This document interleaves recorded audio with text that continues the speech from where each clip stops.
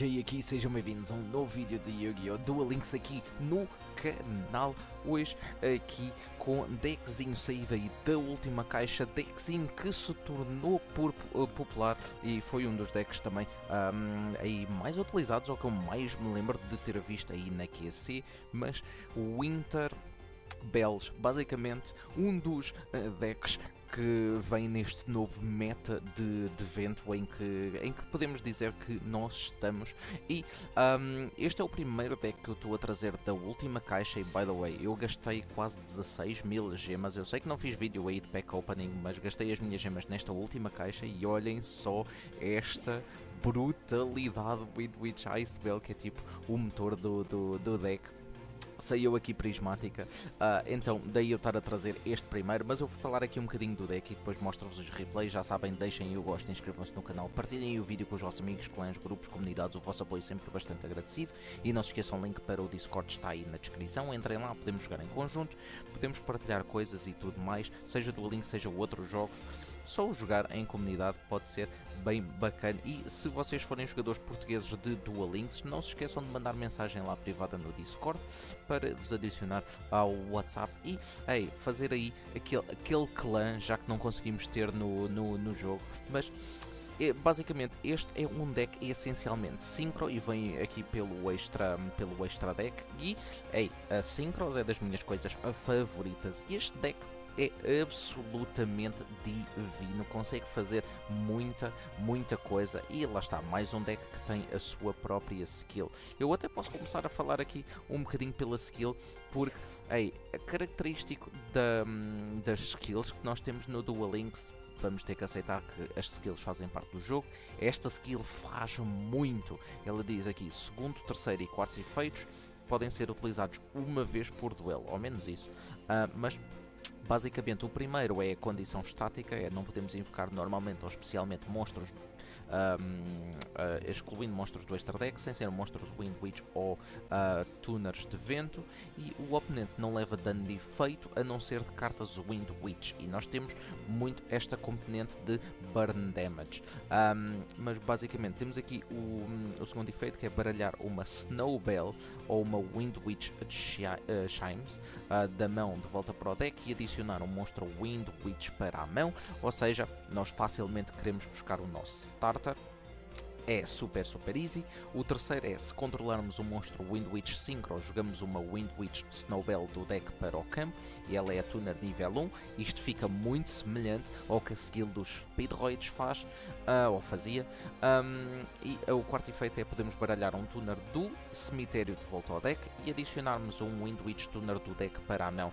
Isto é absolutamente incrível, não só para a jogada que nós podemos fazer no próximo turno para criar disrupções no turno do adversário, como simplesmente para ter follow-up. Isto é absolutamente divino, mas um, como vem aqui, Snowbell é o tuner nível 1, a Chimes acaba por ser um dos starters, a Chimes que é basicamente um reward, foi um reward de evento, completamente free to play, um, uma carta que basicamente fazemos target a um Windwitch que nós controlamos e invocamos especialmente um com um nome diferente do deck em modo de defesa. Uh, não podemos invocar especialmente monstros pelo resto do turno, a não ser monstros ventos, mas normalmente ela, uh, queremos ela na, na mão inicial só para utilizar a skill. Nós não precisamos de utilizar bem a magia.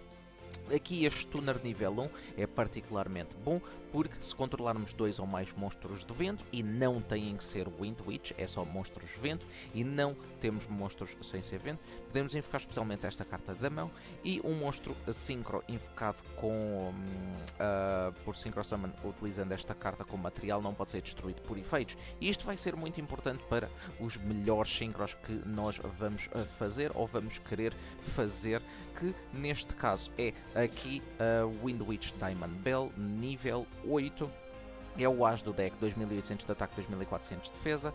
Quando ele é invocado por Synchro, fazemos target a um Wind Witch no nosso cemitério, damos dano um, igual a um quarto do, do ataque desse monstro, mas o mais importante, uma vez por turno, se o oponente leva a Battle ou Effect Damage, fazemos target a uma carta no campo e destruímos. Se um, esta carta foi invocada por Synchro Summon usando apenas monstros a Wind Witch como materiais, podemos utilizar este efeito duas vezes por turno e muitas vezes o que Vamos fazer com aquela tuner nível 1 que nós vimos da skill e uh, o pseudo, uh, oh, não é neste caso, o As, uh, a versão normal do, do As aqui da, da RIN, que é o Winterbell, este nível 7 mais o outro nível 1 fazemos um Diamond Bell, não pode ser destruído por, por efeitos, vai dar burn, vai começar a dar pops e é incrível.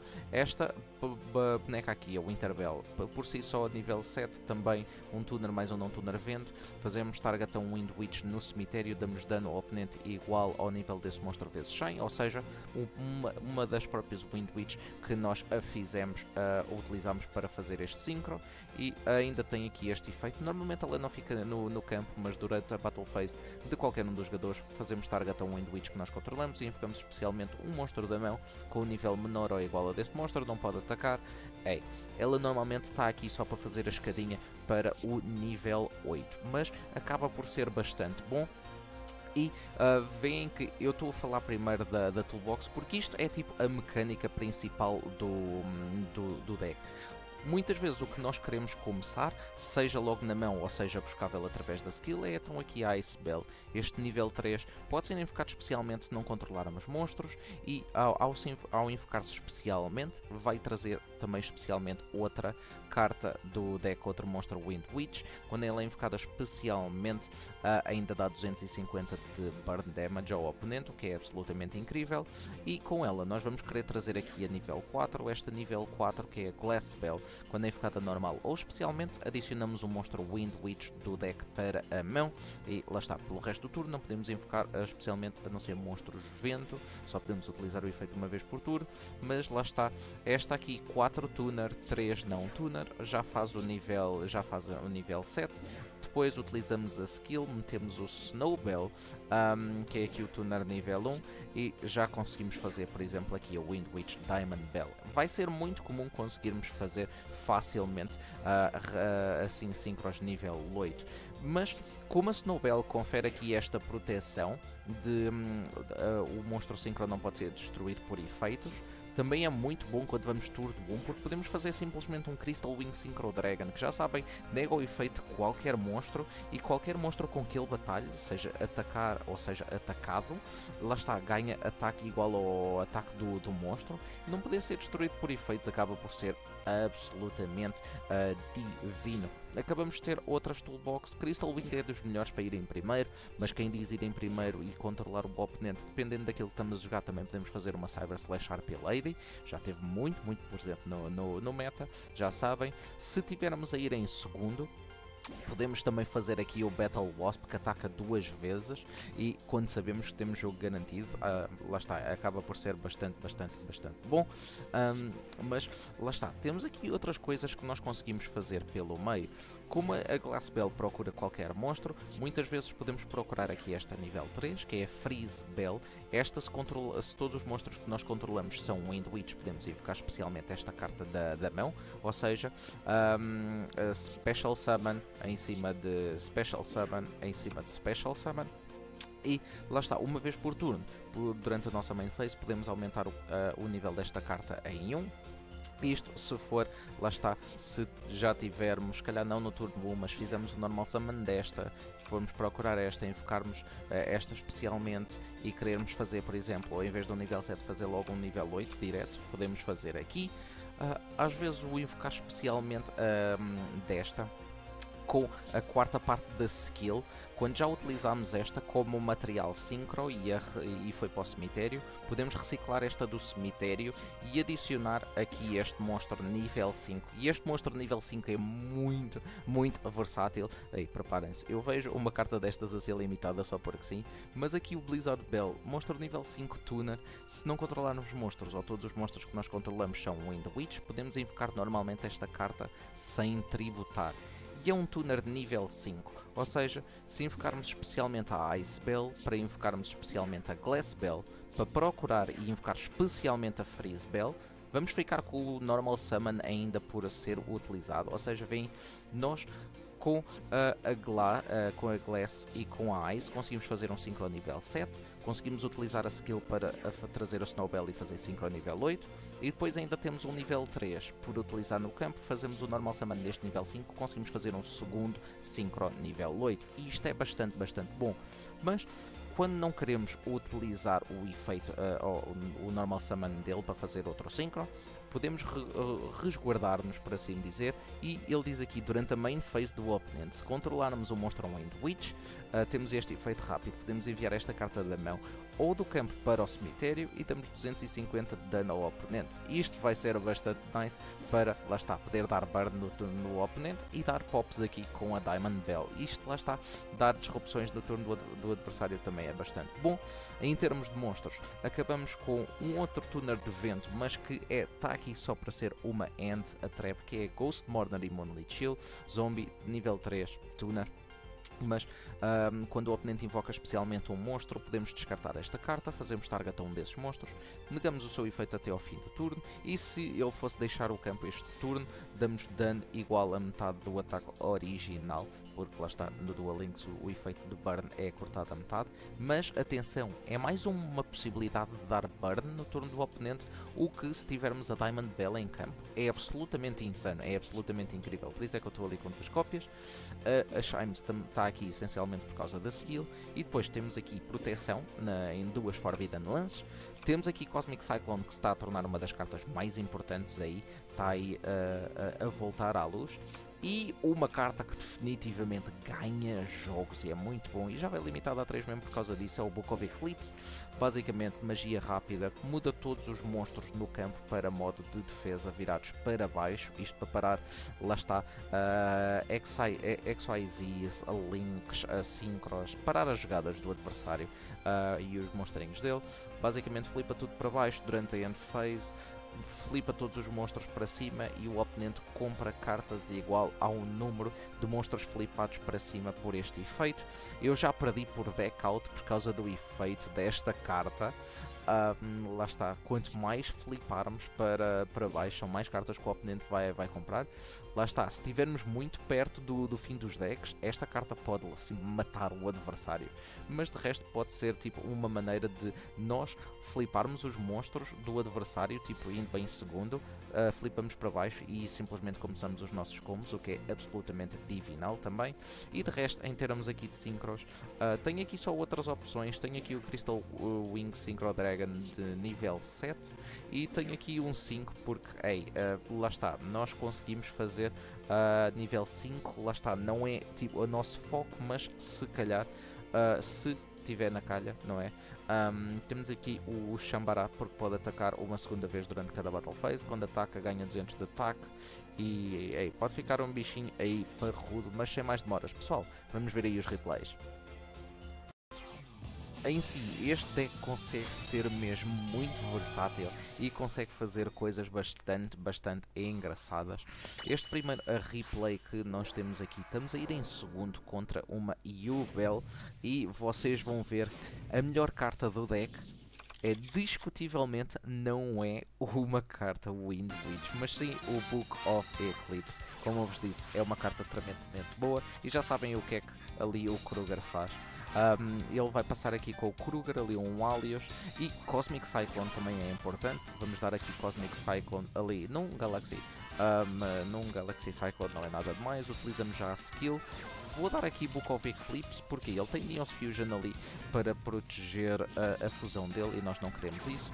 Já vou invocando especialmente aqui a nível 3, vai trazer ali a nível 4, vai dar, uh, ativar para dar ali os 250 de burn. E esta, eu aqui trouxe logo o nível 5, que é o, a carta de descarte um, para dar, dar burn. Eu aqui vou já fazer o Winterbell, fazer aqui a carta As um, e aqui vou um, dar ali o burnzinho, vou ativar aqui a skill.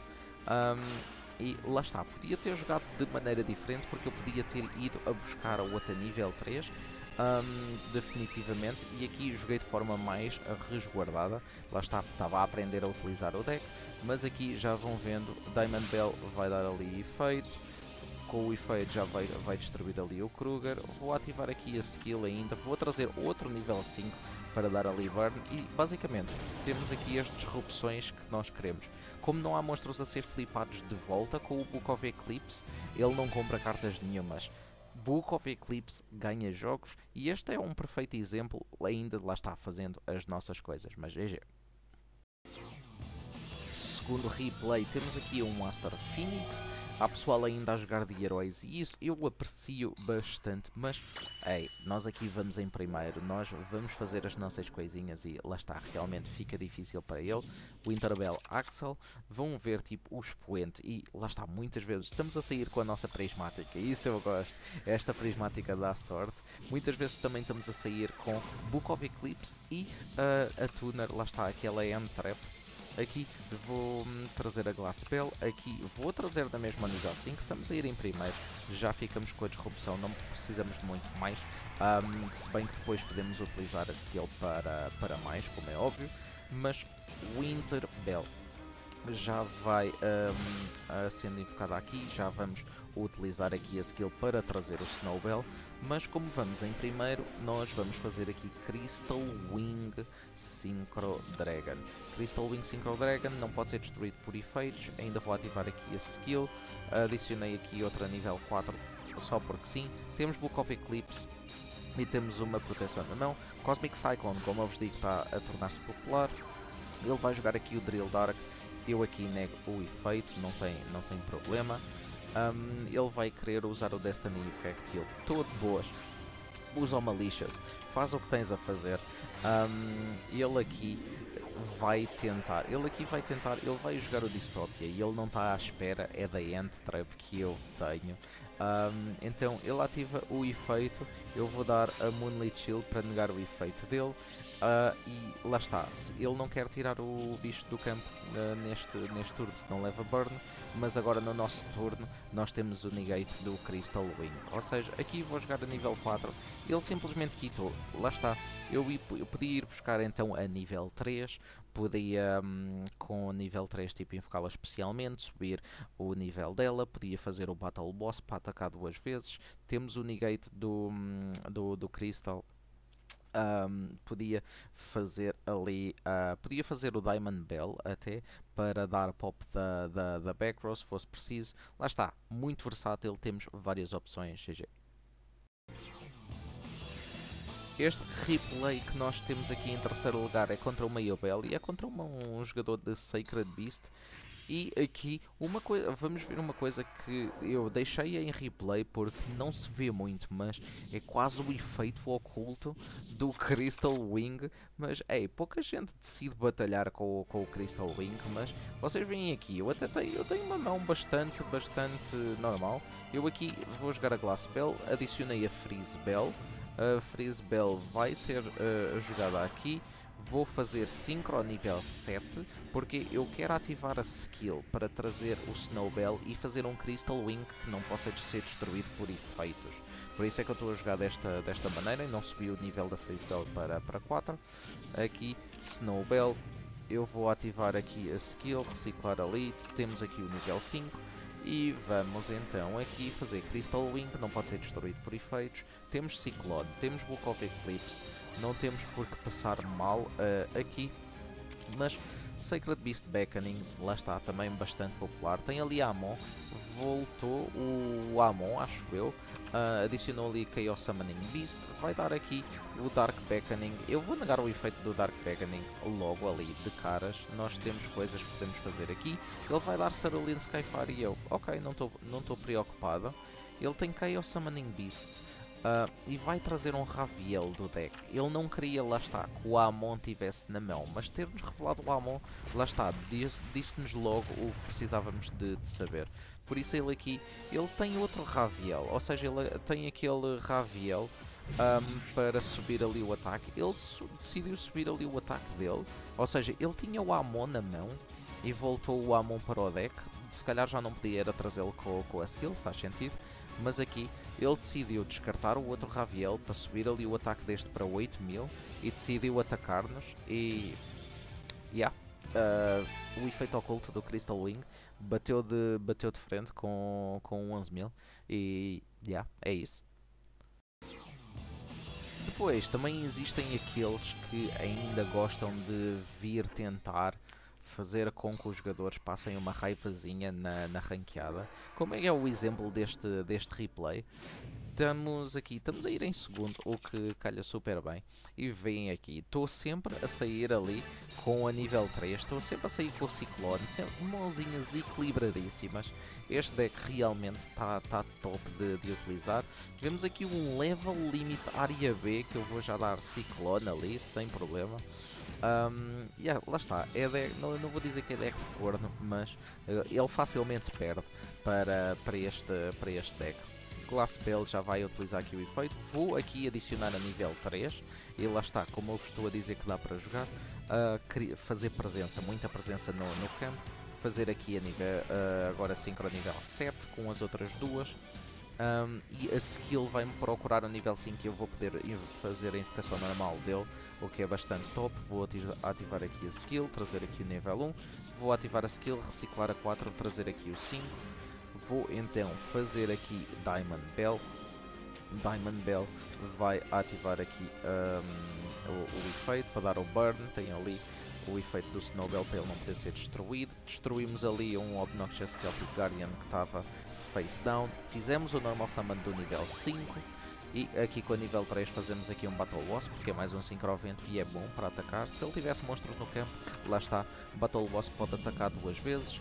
Ele aqui ataca, dá dano o Diamond Bell, como só utilizamos materiais Wind Witch, tem um segundo pop por turno e depois atacamos com este por, uh, por jogo. Ou seja, mesmo que ele tivesse uh, saído ali com mais alguma coisinha, podíamos ter um, lidado com, com aquilo facilmente. E é isso aí, pessoal.